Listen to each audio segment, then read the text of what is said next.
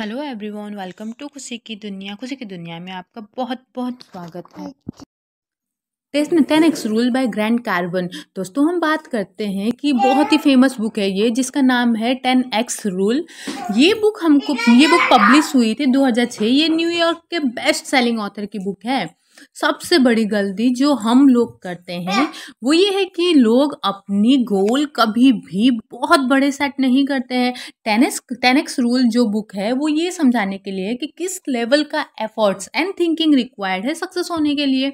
अपनी कैपेबिलिटीज़ के लेवल से काफ़ी ऊपर आकर के देखना और इम्प्लीमेंट करना ही टेन एक्स रूल कहलाता है। इसीलिए अपने गोल को अपनी कैपेबिलिटीज़ के दस गुना ज़्यादा तक तय करना होगा। हमारे एक्शन और सोच ही रीजन होते हैं जहाँ पे हम आज अपने लाइफ में है। इसीलिए टेन एक्स रूल के अकॉर्डिंग सोचना और एक्शन करना होगा। और हमारे एक्शंस और सोच ही रीजन होता है आज हम जहाँ पे है, जो से पोजीशन में अगर खुशी है या फिर दुखी है। इसीलिए टेन एक्स रूल के अकॉर्डिंग सोचना होगा, काम करना होगा। जब हमें सक्सेस मिल चुकी होती है, तब भी काम क्यों करना है? कई लोग सोचते हैं, क्योंकि हमें खुशी तब मिलती है जब हम लाइफ की कुछ चीज़ें एकम्प्लिस्ड करते हैं। और हम अपने रीजन अपने सक्सेस को लिमिट करना टेन एक्स रूल को ना मानना है। टेन एक्स रूल में अपने आप को गोल से दस गुना ज़्यादा सेट करना है। जो भी हम सोचते या हमको चाहिए होता है। और उसके बाद वो करना है, वो जो दस गुना रिज़ल्ट पाने में लगेगा। इस टेन एक्स रूल के अकॉर्डिंग चार मिस्टेक्स हम अक्सर करते हैं। पहली गलती होती है कि गोल बहुत लो सेट करना। दूसरी गलती होती है, ये नहीं समझ पाते कि कितना एक्शन रिक्वायर्ड है उस गोल को अच्छे से करने के लिए। तीसरी गलती कंपटीशन पर ध्यान देना नहीं है। अपने सेक्टर में बहुत अच्छा करना है। चौथी गलती होती है, ये समझ नहीं पाते कि क्या प्रॉब्लम क्या आ सकती है आगे। और कोई भी पर्सन कोई भी गोल जो हम सेट करते हैं, वो मुश्किल ही होता है। उसे क्यों ना हम अपने गोल की शुरुआत हायर सेट करके ही करें? बहुत सारे लोग सिर्फ़ काम कर रहे हैं, ना कि पैशन को चेंज कर रहे हैं। बिकॉज़ शायद उनकी सैलरी बहुत कम है इनकम बहुत कम है। या तो हम अपने ही गोल्स या ड्रीम्स को पूरा कर सकते हैं, या फिर कोई और हमें किसी काम के लिए यूज़ करेगा, उनके प्रॉफिट के लिए। कभी भी हमको अपने टारगेट कम नहीं करने हैं, सिर्फ़ अपने एक्शंस को लगातार बढ़ाना है। जब हम सक्सेस की इम्पोर्टेंट नहीं समझते तो सक्सेस कभी भी नहीं मिलती है।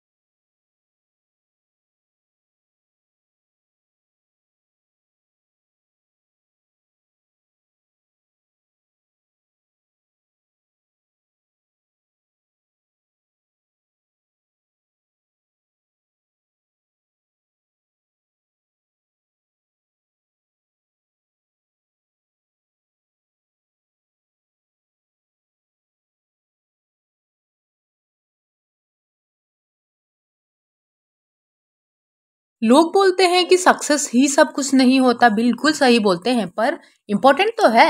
ये कहना कि सक्सेस ही सब कुछ नहीं होती है हमको ये एक्सक्यूजेस देता है अपने विजन को लिमिट करने के लिए। और सक्सेस पाना हमारी ड्यूटी है इसको ऑप्शन की तरह ना देखे। सिर्फ़ एक चीज़ या इंसान पर डिपेंडेंट रहना फॉर सक्सेस एक बहुत बड़ी गलती है। विनर जो होते हैं वो अलग अलग जगह से सक्सेस ले आते हैं। और अगर इसी को पॉलिटिशियन बहुत सारे प्रोमिस करते हैं बट आपकी सक्सेस उन पे डिपेंड नहीं होती है, सिर्फ़ आपको ही अपने लिए मेहनत करनी पड़ती है। जब कोई और सक्सेसफुल होता है तो ये एक साइन है कि ये पॉसिबल है। हमको इससे इंस्पिरेशन लेनी चाहिए, जो लोग ब्लेम करते हैं। लाइफ में सक्सेसफुल ना होने पे वो वैसे भी सक्सेसफुल नहीं हो सकते हैं। विक्टिम थिंकिंग होना कभी भी हेल्प नहीं करता है। अगर आप अपने ही जीतने का क्रेडिट लेने को रेडी नहीं है तो अपने भी हार की रेस्पॉन्सिबिलिटी लेना सीख ले। और जब भी कोई अनप्लान चीज़ें सामने आती है तो ये समझ ले कि हमेशा कैसे तैयार रह सकते हैं। फ्यूचर के लिए वो रेडी रहे, वो करने के लिए रेडी रहे। सबको ड्राइव करना बंद करें और अपने लिए करें। आपको जो चाहिए, अगर लोग कमेंट करें तो आप सब कुछ सही कर रहे हैं।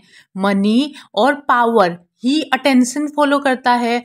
एवरेज सोच एंड एवरेज एक्शन से कभी भी इसे बाहर नहीं बाहर नहीं निकलने देता हमको।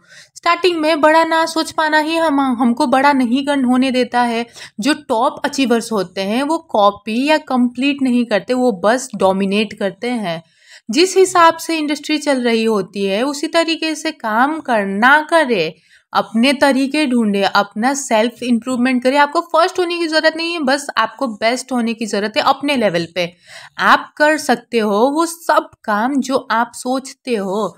आपको अपने काम को लेकर के ऑब्सेस्ड होना पड़ेगा बिकॉज़ इसके बिना कुछ भी पॉसिबल नहीं हो पाता और कोई नहीं कर पाया आज तक।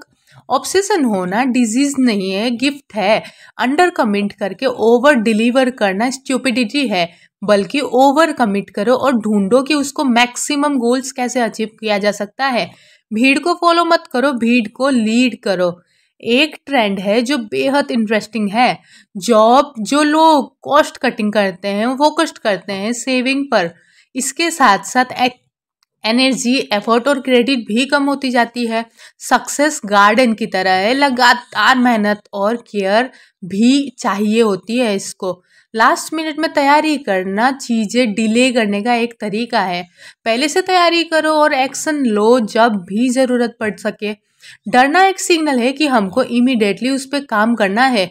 डर को बढ़ाना नहीं है, इंतज़ार करके। टाइम कैसे मैनेज होगा, ये सोचना नहीं है फोकस करना है। हमको हमारे काम, अपनी प्रायोरिटी को समझना है, तभी हम बैलेंस कर सकते हैं चीज़ों को। टाइम भी तभी मैनेज होता है सही ढंग से। कोई भी हमें सक्सेसफुल नहीं बना सकता है। कमज़ोर लोग हमेशा क्रिटिसिज्म के बाद रुक जाते हैं, जो लोग कस्टमर नहीं है। उनका सेटिस्फेक्शन भी बहुत बड़ा है। देन ओनली कस्टमर सेटिस्फेक्शन क्योंकि बहुत लोग हैं आसपास में बट खरीद नहीं रहे हैं, वो भी एक इशू है, वो भी समझना पड़ेगा।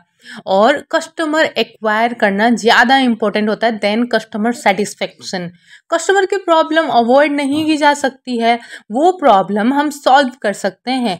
कैसे? पावरफुल कंपनीज़ और ब्रांड हर जगह दिखाई देता है। अगर हमको रिवेंज लेना है तो बहुत सक्सेसफुल होना पड़ेगा ज़िंदगी में। उसके लिए एफर्ट्स चाहिए होती है। सक्सेसफुल लोगों की थॉट्स एंड एप्लीकेशन डुप्लीकेट करे और हर चीज़ को ऐसे स्टार्ट करे कि वो पॉसिबल है, यानी कि बिलीव करे, अपना एटीट्यूड वही लाए कि सोल्यूशन मिल जाएगा। अपने आप को ओवर थिंकिंग और पैरालाइज्ड होने से रोके। फोकस करें एक्शन पर। हर चीज़ पॉसिबल है। एक्शन के साथ में रूटीन तरीके और सोच को चैलेंज करें।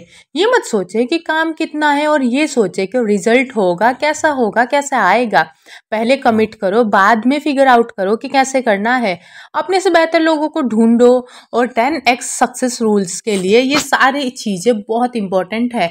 यही ten X rule books rule यानी कि दस गुना सक्सेस का फॉर्मूला है। अगर आप इसको कॉन्सेंट्रेट करके सुनना चाहते हैं तो स्लो स्लो में सुन लीजिए point wise thank you for listening this audio इसी बात पे रखिए अपना ख्याल अपने आसपास वाले लोगों का ख्याल और लर्निंग्स को अपने लाइफ में इम्प्लीमेंट करते रहिएगा। Thank you so much